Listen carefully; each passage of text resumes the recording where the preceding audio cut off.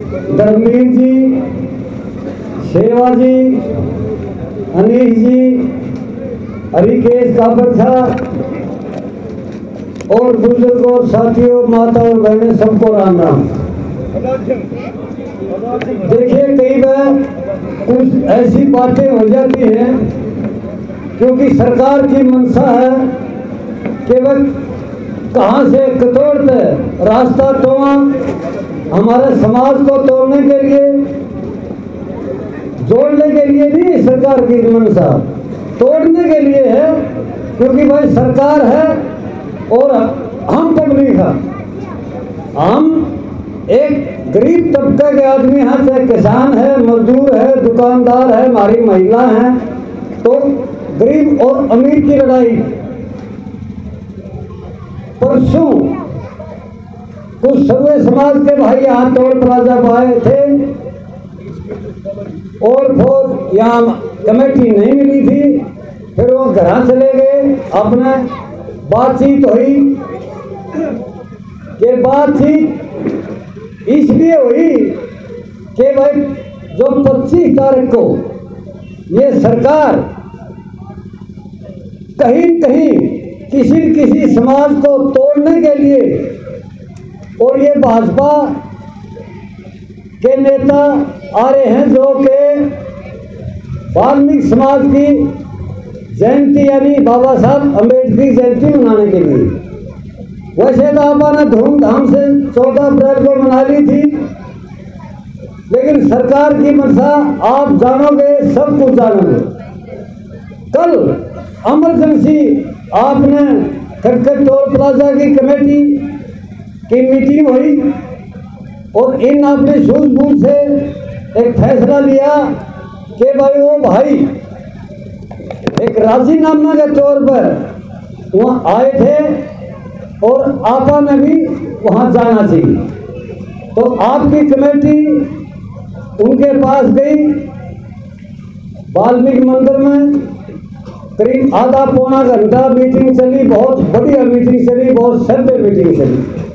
क्योंकि जो समाज के भाइयों हैं, वो सभ्य काम करते और वहाँ करीब फैसला होया, हमारे सर्वे समाज के भाइयों ने बताया कि भाई, हम कोशिश करेंगे, भाजपा के नेता ना है और ये प्रोग्राम टाले जब यह प्रोग्राम नहीं चलता है, आज और कल के बीच में तो ये हरियाणा का सबसे बड़ा जोरदार विरोध होगा और आंदोलन होगा भाई।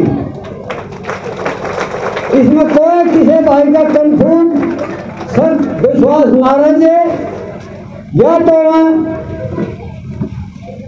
वापसी ले लो, अपनी मीटिंग के सरकार नहीं तो पूरी तरफ़ हरियाणा मैसेज कर दिया और कर दिया जाएगा।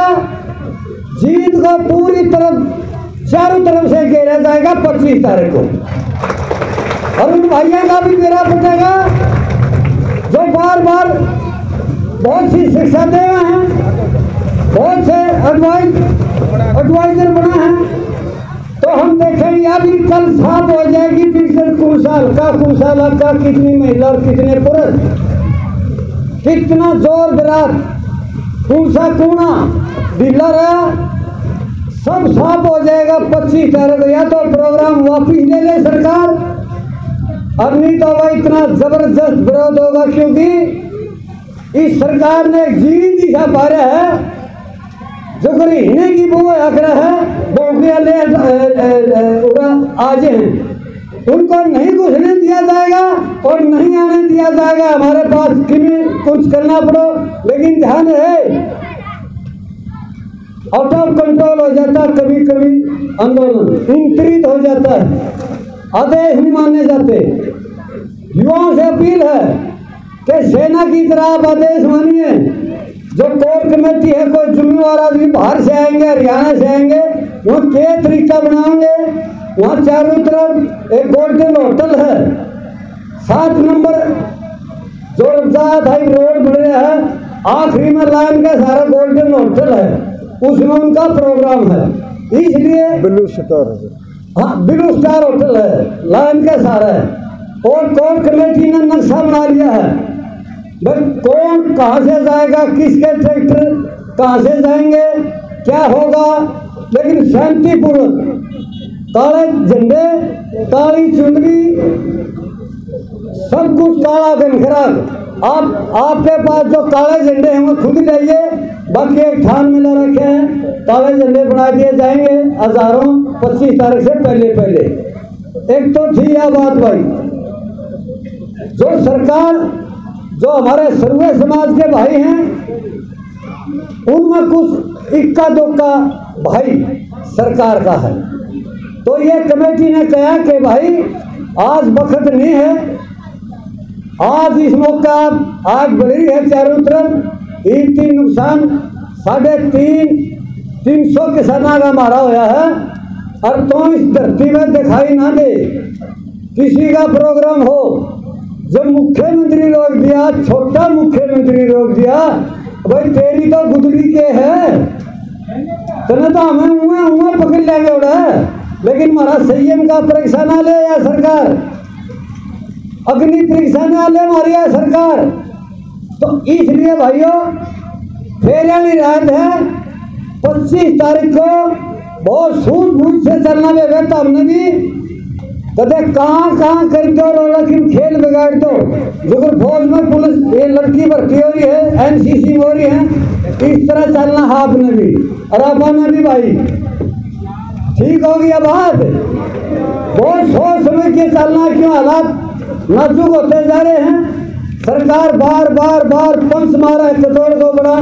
जीन में हम नहीं बढ़ने देंगे ये हमारा आखिरी फैसला है। काले झंडे दिखावाएँगे कोशिश करेंगे, या तो सरकार मान जो नहीं, हम पर ये भी तोड़ेंगे भाई। कुछ भी करेंगे तुरंत फैसले भी होंगे और जो तुरंत फैसले होंगे, उनका बहुत बड़ा एक्शन होगा। इसलिए भाई, शांति से, शांतिपूर्वक शांति बंद करना चाहे सरकार, क्योंकि अपन क्यों चाहे सरकार शांति बंद करना? क्योंकि अपन दो हज़ार चौबीस की तैयारी कर ली है जहाँ तक भैया तो उठते नहीं, किमें किमें खराबी घेरो और उथल फूथल करो। को घर भाजेगा को जेड़ा चला जा कर लाठी छोड़ के कोई परवाह नहीं हमने कहेंगी। हम तो लोगों में लाठी भी लागेगी बोलछार भी लागेगी, जेल भी होगी। और भाई मुफ़्त में भी होंगे। आंदोलन का यही नाम होता अपने आज़ादी लेने के लिए। भगत सिंह ने फांसी का ली थी सुस्कार ली थी फांसी अपने गाँव में। कोई भी अनुशासन शुरू कर दो। बहुत दिन हो गए, बहुत दिहाड़े हो गए, हमारा बहुत नुकसान हो गया है। साढ़े तीन सौ हमारे छोरे खो दिए हैं। माली नुकसान हमारा बहुत हो गया है। हम तंगी में भी आने लग गए हैं। लेकिन जितना सरकार घुमावेगी हमने। उतने हम करने होते जाएँगे, बस चौथे का पुंजल की जाए यह सरकार का हम साफ़ वार्निंग भी जहाँ चेतावनी भी जहाँ कि ज़्यादा हरकत ना करिए और जीन में ना आइए किसान तैयार हैं। कोई गलती हो तो माफ़ करिए, वो नारे ला दें। किसान एकता! किसान मजदूर एकता छत्तीस बिरादरी का भाईचारा किसान एकता कोई गलती हो तो माफ़ ज़रूर करिए धन्यवाद जय हिंद राम।